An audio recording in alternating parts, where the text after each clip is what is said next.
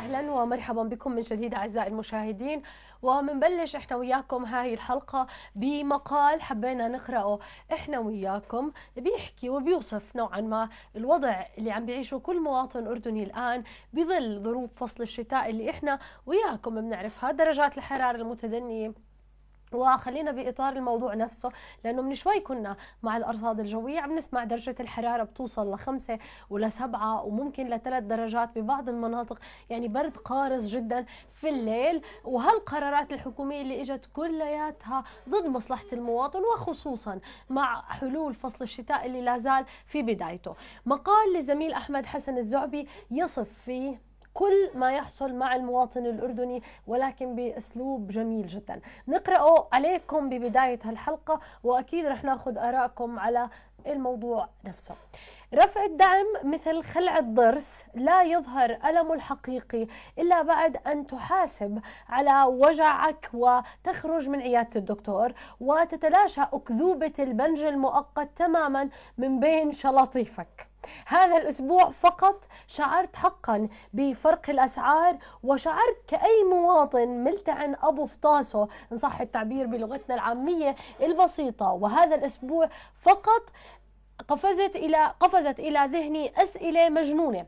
مثل ما علاقة دلو الرايب باحتكار مصفاة البترول؟ وما علاقة سعر بيض المائدة بانقطاع الغاز المصري عن الأردن؟ وهل لموقفنا من الأزمة السورية أي علاقة بمعاطاة الجاج أول أمس حاولت أن أشتري دلو رايب من الحجم المتوسط 2 كيلوغرام لأكتشف بأن سعره ارتفع من دينار و30 آه، قرش إلى دينار وخمسين قرش. بما أنه الرايب الذي اشتريته هو إنتاج ملابن أهلية محلية ولا لها وليس لها علاقة بالمصانع لذا فإن حجة النقل ملغية تماما من قناعاتي نعلق على هالجملة وبعدها بناخذ الاتصال ومن بعدها بنكمل المقال. يعني فعلا لما يرتفع دلو الرايب من 130 لدينار ونص العشرين قرش هذول إذا كان اللبن الرايب مصنع في مصانع محلية في الأردن فإذا لا يوجد لا نقل ولا أجور نقل من من من بلد إلى أخرى ولا في جمارك ولا في غيره ولا في غيراته كله دلو رايب يرتفع على المواطن 20 قرش. فهون بدنا نسأل حالنا إنه شو علاقة ارتفاع الدعم بارتفاع دلو الرايب بنكمل المقال بعد ما ناخذ سجود أول اتصال بالحلقة. مساء الخير يا سجود. سجود مساء النور حلا تفضلي. كيفك مهندسة؟ يا هلا. شو أخبارك؟ الله يخليكي تفضلي. مهندسة حابة أطلب طلب منك. تفضلي. صوتي يوصل لكل الأردنيين. إن شاء الله تفضلي. مهندسة طبعا أنا طالبة بالجامعة. نعم. جامعة الحسين في معان أوكي. أها. أه بدرس كلية الهندسة. نعم. آه بدرس هندسة كيماوية. نعم.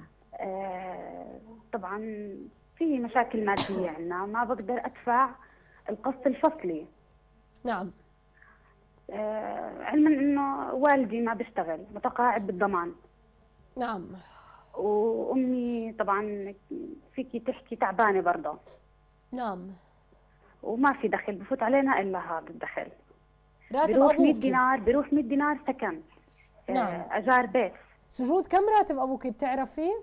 240 240 بالله بيروح 100 دينار أجار بيت وغيره عندكم مصاريف؟ أكيد. في مصاريف أكيد في مصاريف. أنت بتعرفي في حدا غيرك بدرس عنده بالجامعة بالمدرسة؟ في إن بالمدرسة. إحنا سبع أفراد في العائلة أمي وأبوي وثلاث أولاد وبنتين أنا وأختي. طبعا أنا بالجامعة نعم. وقسط الجامعة 650 دينار بالفصل بدفع. نعم. أي سنة أنت؟ أنا بسنة أولى. أنا بسنة أولى. طبعا الفصل الأول آه الله يرحمه في فاعل خير دفع لي قسط الفصل. ساعدني فيه ما دفعه كامل يعني ساعدني فيه والله أخذ أمانته. ففي أنت بتعرفي كونه طلاب جامعة وفي فصل جديد جاي علينا. نعم أنا نعم. أناشد أهل الخير كلهم وكل واحد يسمع صوتي يساعدني إذا بيقدر. طيب. من عيوننا يا سجود أنا رح أرجع أحكي موضوعك على الهواء ولا يهمك. ماشي شكرا لك مهندس. شكرا شكرا شكرا شكرا شكرا. بنحكي موضوع سجود بعد ما ناخذ الأخ مروان الرمحي. مساء الخير أخ مروان. حكومة الهام ألو؟ يا أخ مروان. ألو مساء الخير تفضل. مساء الخير مساء الخير مهندس عروب. مساء الورد يا هلا. يعطيك العافية. الله يعافيك. والله يا أنا يا مهندس عروب أنا حاب أبعد عن المشاكل هاي وعن وجع الرأس وعن هالغلا وعن كل شيء من الشغلات اللي بنسمعها هاي. نعم. أه بحكي لك موضوع خاص يعني. تفضل. بالنسبة للمناطق السياحية بالأردن. نعم. والله الأولاد عندي صار لهم بجوز ست سبع سنين بيطلبوا مني وخذهم على حمامات معين. نعم. فقررت أخذهم وأنزل على حمامات معين بعد ما وصلنا لغايه تفاجئنا ولا هو بيقول لي 10 ليرات على النفر نعم. آه حملت حالي ورجعت. طبيعي جدا إنك تحمل حالك وترجع. أقل يعني أقل ردة فعل. والله ما عارف شو بدي أعمل. قديش والله أفراد أسرتك اخ مروان يعني أنت كم كنت رح تدفع؟ ما معدله قديش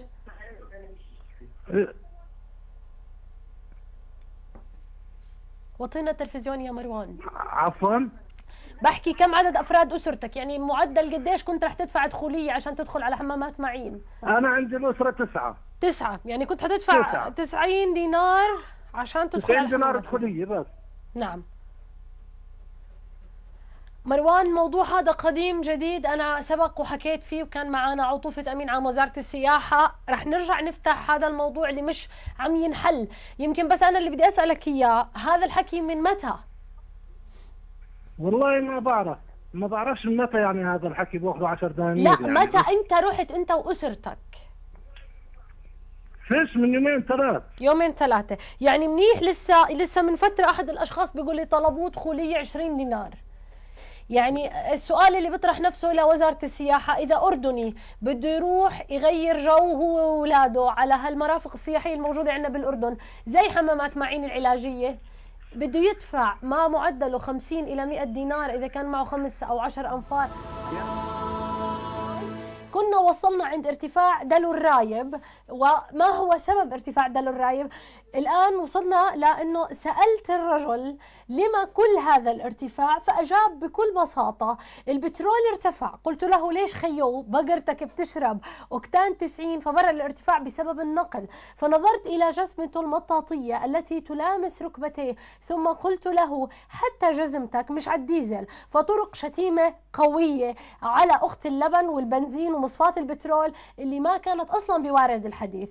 الأمر لم يتوقف عند دلو الرايب فأيضا بيض المائدة كذلك ارتفع 30 قرش. والسبب هو انقطاع الغاز المصري. حسب ما أخبرني عبود الليفة صاحب السوبر ماركت القريب من بيتي حيث قال لي جرة الغاز التي تدفئ سيقان الديك المسؤول الأول في عملية إنتاج البيض قد ارتفعت وحتى تدب الحمية في جسم الديك وباقي الديوك.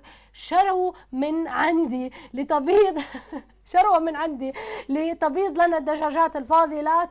بيضا يغطي استهلاك السوق المحلي. يجب أن يقوم أصحاب المزارع بتشغيل المدافع عشر ساعات على الأقل أي أن هناك تكلفة مضافة لعملية الإنتاج ولن يتحملها أحد سوى المواطن. بمعنى آخر حتى الديك إذا ما أراد أن يبسط حاله ويقوم بواجبه الشرعي على أكمل وجه يجب أن يدفع المواطن ثمن هذا الانبساط. راح نكمل المقال اللي مش مكتوب له نكمله اليوم بعد ما ناخذ الأخ محمد وسكر لي الصوت يا علاء. مساء الخير أخ محمد.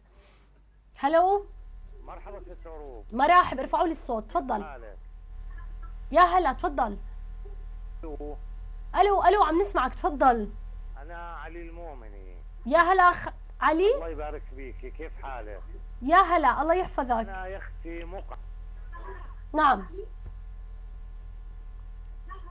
يا جماعة ارفعوا لي الصوت. تفضل أخ محمد. ألو. عم نسمعك تفضل. مساء الخير. مساء الورد. ألو مساء الخير. مساء الورد. أنا بدي أحكي بالنسبة لموضوع النقل العام وسيارات الميكروباص. وطينا صوت التلفزيون أخ محمد. اللي هي مثل باصات البقعة وباصات الفحيص وباصات السلط وكل الباصات بشكل عام. نعم. مصر يسمعنا من التلفزيون. طيب. ليش السائق ما يحط تسعيرة الأجرة بقطعة ورق مكتوبة على الأزاز عشان الراكب يشوف التسعيرة؟ هي المفروض أنها توضع في الباصات. ما بعرف إذا بطلوا يحطوها هي موضة جديدة. وبخط واضح لأنه إحنا بنعاني من هذه المشكلة وحرمنة الكنترولية اللي مع الباصات. نعم نعم. أنا معك بهاي النقطة.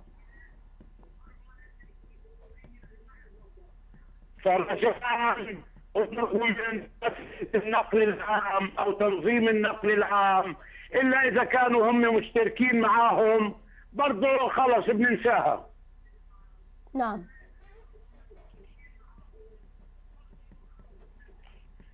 مش قادرين نعرف إحنا ولا خط قديش سعره يعني طب آه، هلا المفروض إنه بيحطوا أنا بتذكر إنه كان المفروض يحطوا هيك تيجي زي بتحكي مع السواق بقول لك هي التسعيرة فوق راسه بدك ميكروسكوب ومكبر و- و- و- والواحد حتى تشوفها. من 6 على 6 600 على 6 عشان تشوف الخط. لحتى يشوف الخط نعم هذا نعم كلام مرفوض وكلهم حرامية بشرفي ما بدنا نحكي كلهم لكن يعني في بعض ب- بخلينا نعمم للأسف. طيب وبتجي تحكي مع الواحد بخانق بقول لك انزل مش عاجبك. نعم.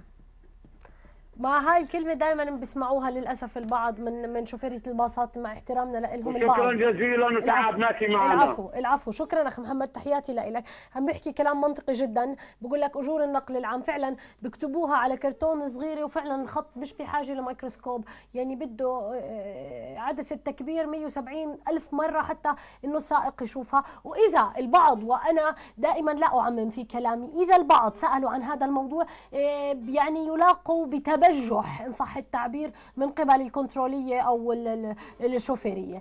بس قبل ما أخذ الاتصال بليز يا مخرجنا بس أكمل آخر فقرة من المقال. أما سبب غلاء جاج المعاطات المفاجئ وبنسبة 20% فقد فسرها لي صاحب المعاطى المصري عبد المعطي. فخذه بما, مع- بما معناه لو أبدى الأردن مرونة مع دول الخليج فيما يتعلق بالقضية السورية لوصل الدعم الخليجي في وقته وبالتالي لم يرفع الدعم عن البترول وبالتالي فإن سعر الدجاج سيبقى ثابتا وعليه فإن جاج المعاطات النتافات والأزمة السورية تمشيان في ذات السياق.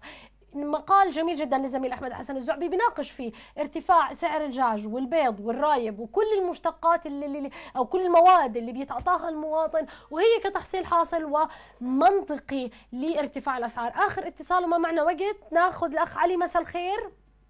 ألو مرحبا. مرحب. كيفك ست عروب؟ يا هلا.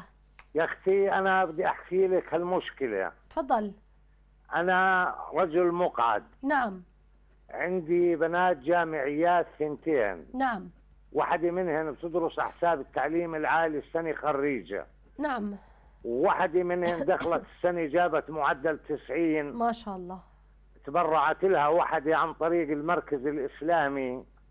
الله يجزيها الخير. تدرس حقوق بجامعة اليرموك. نعم. وما معيش أغطيهن. باخذ مية وليرتين من وزارة التنمية. نعم. والحالي على الله.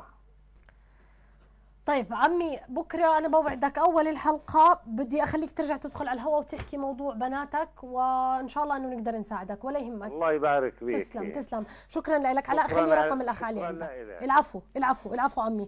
كثير مواضيع اليوم إجت في البرنامج واستفسارات كثيرة. إن شاء الله بحلقة بكرة رح نجاوبكم عليها آه، جميعها. وبدي أرجع أوجه تحية للاخ عبد الرزاق الحنيطي اللي ساعد الصبيه الجامعية سجود بقسط الجامعة للفصل الدراسي الثاني. يكثر من خير. كل الناس اللي عندهم فزعة وعندهم خير. ووقتنا خلص معاكم. تحياتي لكل الأشخاص اللي تواصلوا معنا على ال SMS بدي ال- ال- ال- البرج مساكي ورد يا مهندسه منوره كالعاده يا قمر وسلامتك. يسلم قلبك حبيبتي هدايه وتحياتي لكم ودائما نقول حمى الله الأردن قيادة وشعبا. وأدام عز وجل علينا الأمن والأمان شعارنا هو الله الوطن الملك. شاء من شاء وأبى من أبى. نحن الأردنيين فقراء لكننا الأكثر تعليما. فقراء لكن نمتلك أعلى سقوف الحريات. فقراء لكن لدينا أقوى جيوش المنطقة. أنا الأردني. بحجم بعض الورد إلا أنه لي شوكة ردت إلى الشرق الصبا مني عروب العبادي ومن كل فريق العمل. كل التحيات ونراكم يوم غد في تمام الخامسة. حتى ذلك الحين دمتم بكل الخير. إلى اللقاء.